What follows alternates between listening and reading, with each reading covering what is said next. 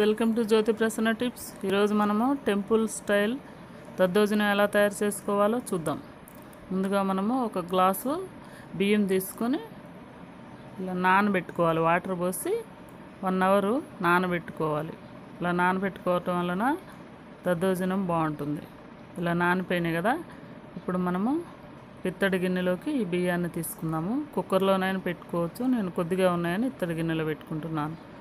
ఇలా మూడు గ్లాసులు ఒక గ్లాసు బియ్యానికి మూడు గ్లాసులు వాటర్ పోసుకొని మనము రైస్ని ఉడికించుకోవాలి. స్టవ్ మీద పెట్టుకొని ఇలా ఉడికించుకోవాలి. మెత్తగా ఉడికితేనే బాగుంటుంది. చూడండి ఇలా రెడీ అయిపోయింది కదా రైస్. ఇప్పుడు ఈ రైస్ని పక్కన పెట్టుకొని మనము స్టవ్ వెలిగించుకొని పాన్ పెట్టుకొని కొద్దిగా నెయ్యి వేసుకొని సొంటి కొమ్మునేలా నేతిలో వేయించుకోవాలి. ఇలా బాగా వేయించుకుని పౌడర్ చేసుకోవాలి మనము. ఇలా పక్కకు తీసుకొని ఇప్పుడు మనము ఈ రైస్లో కొద్దిగా సాల్ట్ వేసుకొని బాగా ఇలా మెత్తగా అనుకోవాలి. చూడండి. ఇప్పుడు మనము ఒక గ్లాస్ పాలు పోసుకుందాం ఇందులో. ఇలా ఒక గ్లాసు పాలు పోసుకుని కలుపుకోవాలి. తర్వాత బాగా కలిపిన తర్వాత మనము చిక్కటి పెరుగు గడ్డ పెరుగుని మనం తీసుకోవాలి. తీయగా ఉన్న పెరుగుని తీసుకుంటేనే బాగుంటుంది. పెరుగు పుల్లగా ఉంటే దద్దోజనం బాగోదు. ఇలా ఒక కప్పు పెరుగుని వేసుకొని మనము బాగా కలుపుకొని చూడండి ఇలా కలుపుకొని ఇప్పుడు మనం పోపు రెడీ చేసుకుందాం. పాన్ వేసి పెట్టి నెయ్యి వేసుకొని ఆయిల్ అయినా వేసుకోవచ్చు. నెయ్యి వేసుకుంటే టేస్ట్ బాగుంటుందని వేస్తున్నాను. నెయ్యి వేసుకొని పచ్చనగపప్పు జీరా మినప్పప్పు మిరియాలు వేసుకోవాలి. మిరియాలు ఇంపార్టెంట్ దద్దోజనానికి. తర్వాత ఎండుమిర్చి రెండు పచ్చిమిర్చి వేసుకోవాలి.